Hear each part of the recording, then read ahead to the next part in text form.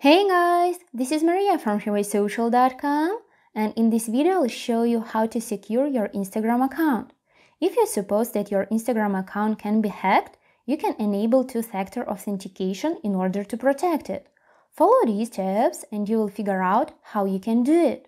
Go to your Instagram profile tab, click on the three lines icon in the top right corner of the screen. Hit settings at the bottom once the settings window opens, press on the security section.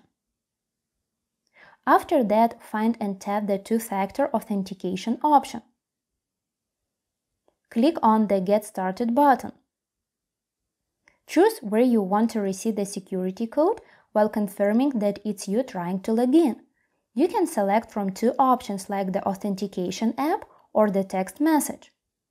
If you want to use the Authentication app option, you need to install a particular app that you will use to authenticate your account.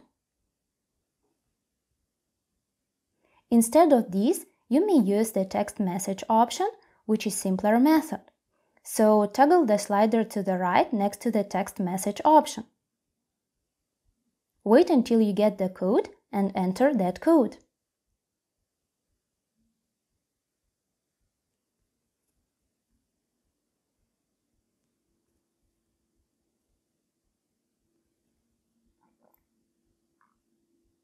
As you see, the two-factor authentication is turned on.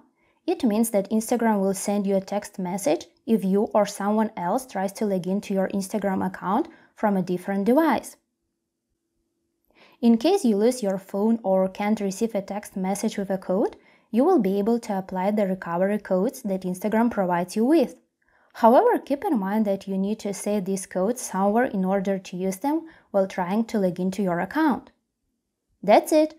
I hope this guide was helpful and you were able to secure your Instagram account. Don't forget to like this video and visit us at freewaysocial.com.